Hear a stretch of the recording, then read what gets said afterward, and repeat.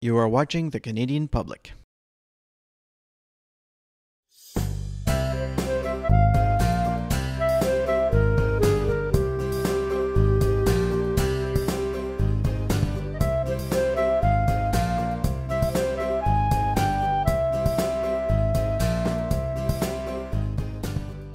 Hello, I'm François Caron, and sorry for the mess, I'm moving to a new apartment very soon.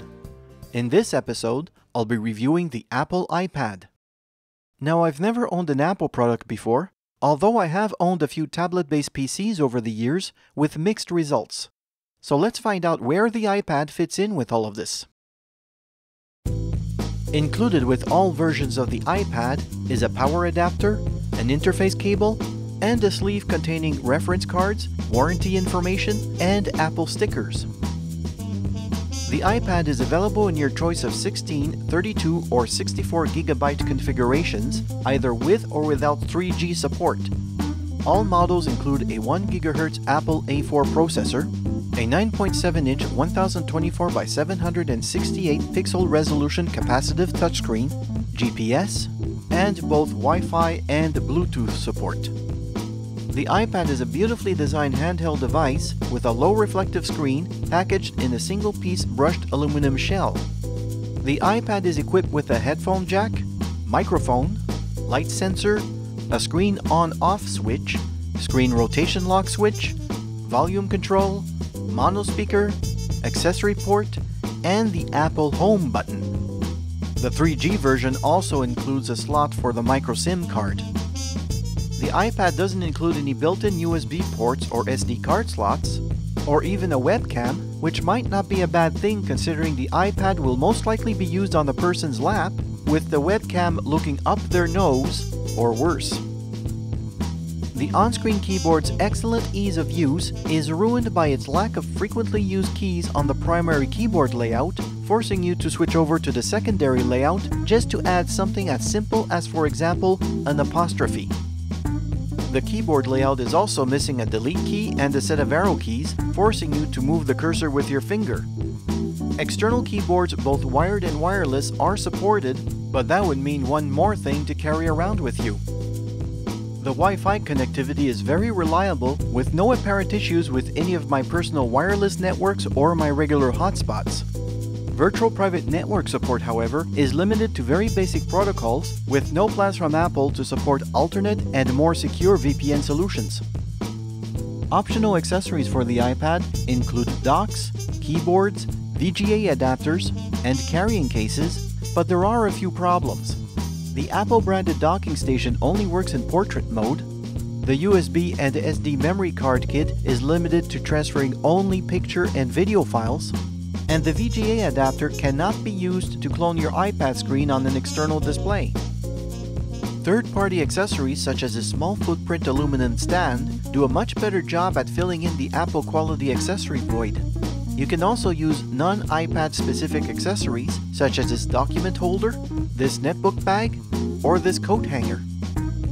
The iPad includes basic built in apps such as a web browser, email client, picture viewer, notebook and agenda, maps and navigation, shopping portals, and an assortment of media playback apps. The iBooks app, which must be installed separately, has an excellent user interface with quick access to all pages and includes a growing selection of paid books available from major publishers, as well as a wide selection of classic literature now in the public domain. While some apps demonstrated a high level of quality, other apps behaved erratically or nagged you with a few too many ads. Even the so called productivity apps had enough negative feedback to discourage me from buying them, the most common complaint being the lack of compatibility with Office Suite file formats. Even the iPad's built in apps had issues. The web browser does not support Adobe Flash, the email client only supports one signature, and the images are not sorted in alphanumerical order, screwing up your slideshow. Even worse, Apple's wacky approval policies have already resulted in the banishment of apps such as alternate media players, desktop widgets, and network tools, severely crippling the iPad's full potential. But my biggest annoyance is the iPad's almost complete lack of multitasking capabilities, which can be catastrophic if while closing one app to retrieve something from another app, you lose all of your unsaved data.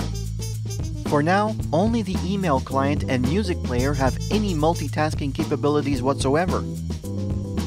Apple's somewhat clumsy iTunes software takes care of backing up your iPad, including your data, your purchases, and your personal settings, as well as transferring to the iPad any pictures, music, or movies you wish to bring along with you.